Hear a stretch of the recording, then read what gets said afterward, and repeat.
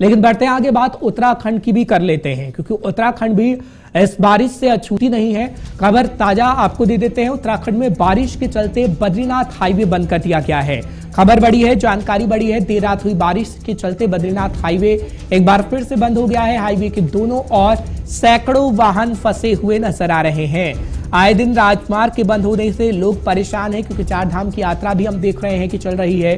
देहरादून, पौड़ी, नैनीताल में भारी बारिश का अलर्ट जारी किया गया है। खबर इस वक्त ये आपको बड़ी देने की कोशिश कर रहे हैं। चंपावत और ऊधम सिंह नगर में भी येलो अलर्ट जारी किया गया है। खबर बड़ी है उत्तराखंड से, जानकारी बड़ी है कि देहरादून, पौड़ी, नैनीताल में भारी बारिश का येलो अलर्ट जारी किया गया है। हालाँकि अगर हम बात करें, बद्रीनाथ हाईवे बंद होने से इस वक्त लाखों की तादाद में लोग परेशान है, क्योंकि कई गाड़ियाँ ऐसी हैं जो वहाँ पर फंसी हुई हैं।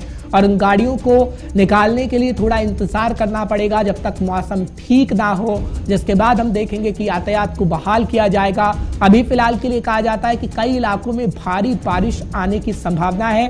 इसलिए येलो अलर्ट भी जारी किया गया है। इनमें से देहरादून, पौड़ी, नैनीताल, चंपावत उधम सिंह नगर और कई अन्य इलाके भी शामिल है, जिसमें कहा जाता है कि बदरा बहुत बरसेंगे और लोगों को थोड़ी परेशानी का सामना करना पड़ेगा। लेकिन इससे पहले भी हमने देखा था कि बद्रीनाथ हाईवे को बंद किया गया था ताकि कोई अप्रिय घटना ना हो सके, लोगों की जानें बच सके और एक बार फिर से बद्रीनाथ हाईवे को बंद कर दिया गया है। देर रात से लगातार उत्तराखंड में तेज बारिश हो रही है। तेज बारिश का सिलसिला थमने का नाम नहीं ले रहा है। लगातार बारिश बारिश की वजह से लोग इस वक्त थोड़ी परेशानी में ज़रूर हैं, जो कि बाहर से उत्तराखंड के अंदर आ रहे हैं क्योंकि सैलानी को इस वक्त दिक्कतों का सामना करना पड़ रहा है। चार धाम की यात्रा के दौरान हम देख रहे हैं कि कैसी जो सुविधाएँ हैं, वो सरकार की तरफ़ से उपलब्ध तो कराई गई हैं, लेकिन कुदरत का कहर है, और कुदरत का कहर जब बरप रहा है तो इस वक्त परेशानी होना लाजिम सी बात है। लेकिन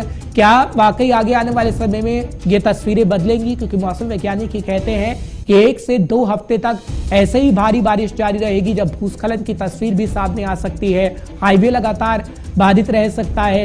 ये मौसम वैज्ञानिकों की तरफ़ से जानकारी दी गई है, लेकिन खबर इस वक्त की आपको बड़ी बता रहे हैं, उन इलाकों के नाम बता रहे हैं, जहाँ पर येलो अलर्ट जारी किया गया है, क्योंकि आए दिन राजमार्ग बंद हो रहा है।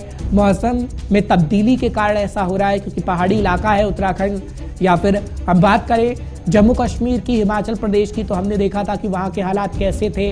अभी अमरनाथ यात्रा के दौरान हालाँकि हमने देखा कि बादल फटने की खबर सामने आई, जिससे कितने लोगों की जान चली गई।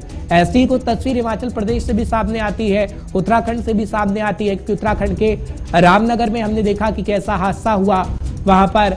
हालाँकि अगर हम बात करें इस वक्त की स्थिति की तो इस वक्त की स्थिति को संभालने के लिए प्रशासन पूरी पूरी कोशिश कर रहा है। और आपको बता रहे हैं कि उत्तराखंड के अंदर इस वक्त मौसम कैसा है, क्योंकि मौसम इस वक्त भारी बारिश का बना हुआ है और इस वक्त बद्रीनाथ हाईवे को बंद कर दिया गया है। हालाँकि यात्रियों से कहा गया है कि जल्द से जल्द खोला जाएगा, जिसके बाद इस यात्रा की शुरुआत की जाए